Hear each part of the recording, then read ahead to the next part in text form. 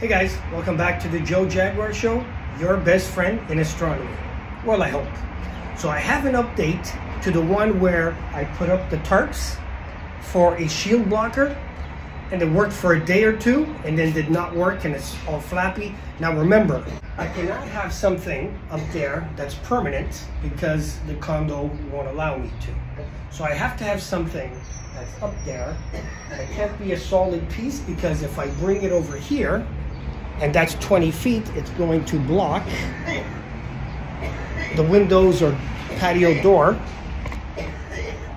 So that won't work. So I want something that can go literally up in five minutes and then I'm finished, literally down in five minutes. I don't want something that I'm gonna end up tying or screwing or bolting on four different sides or whatever, uh, you know, take a half an hour. So I think I found it.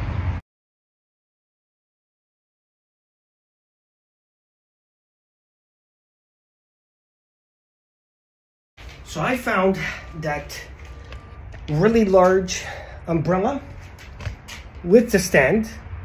This is a 10 foot diameter umbrella and it does open, uh, but it did not go sideways, kind of just is upwards.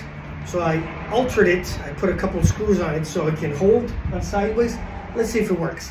Now, this looks like it was from a return. I went to a liquidation center and I had this guy in the box, still had everything in it uh, with all the parts, but it looks like it was probably returned, maybe it didn't fit uh, what somebody was asking for, and I don't see anything wrong with the fabric or the pole or not even a scratch. So it's like new, but returned.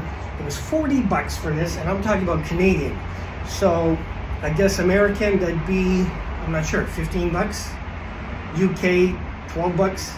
Uh, but it also had 50% off that day, so I literally got it for 20 bucks Canadian, uh, everything. And um, yeah, you can't beat that. Let's go try it on.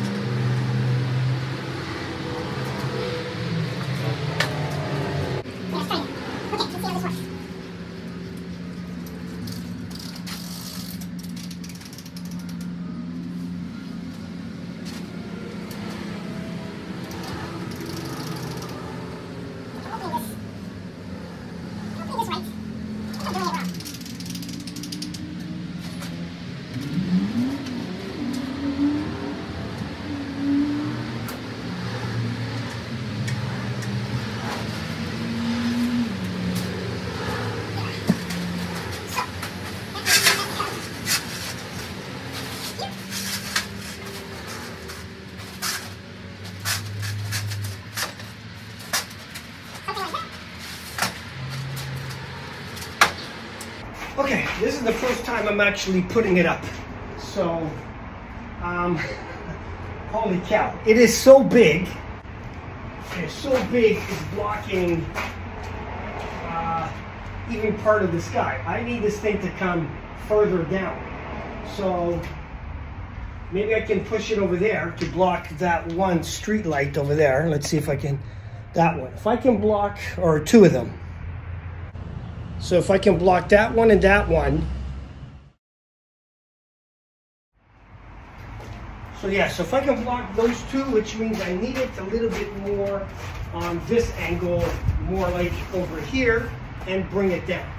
So now, if I get one more on this side, with that light, and a couple of those, so one more over here, I pretty much can block out everything except for that one across the street and it's partially hidden. If I can block that one out and it's partially blocked by the uh, tree anyway. I'll keep you guys updated.